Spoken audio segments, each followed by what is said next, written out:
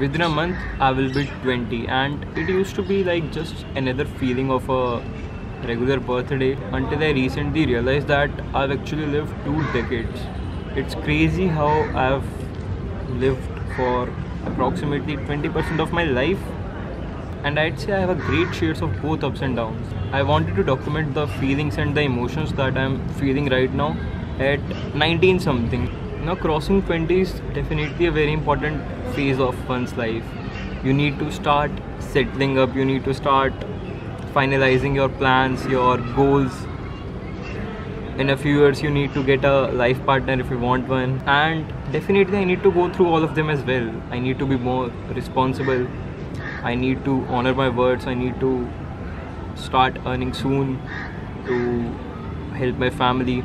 I can't just like you know waste time now because once I'm 20, which I'll be within 3 4 weeks, the official and unofficial tag of being a kid of the house or the family is removed i guess because i spent a lot of time watching movies series playing games and definitely some stuff which was like not really necessary but since i was a kid i was in my teenage 18 19 17 i was like just finishing up my school and i have done with my two years of my college so that was fine.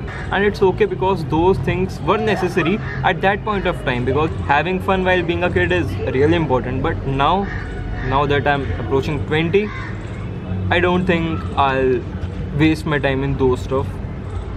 As much as i used to do i'll definitely like start being more productive. I need to be more productive in fact and i need to figure out a lot of things in my life when I'm 20, I need to make some of the most important decisions of my life. And I will be honest, if I was not making these digital journal entries, I think I'll never admit this, but I'm scared. Yes, I'm scared and I'm nervous. I don't know what might happen tomorrow, what might happen the day after. And definitely, I need to be more responsible.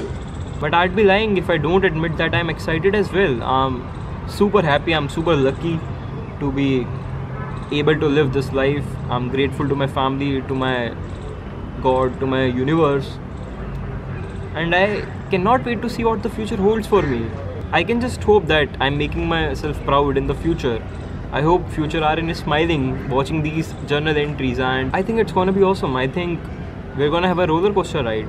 Definitely the downs will come and that's a part of life, but I think ups will be even better. I think it's gonna be a brilliant phase. I think I'll become more productive and these journal entries will make me more accountable and i have decided to do this often because you know i need to start figuring out my life and definitely most of my life isn't figured out yet but i'm so excited and i think i'll do good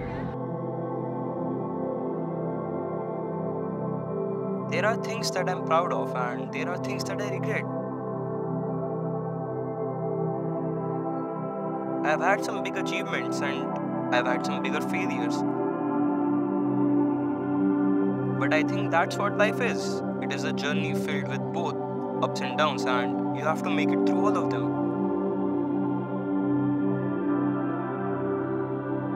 And that's me signing off at 19 something.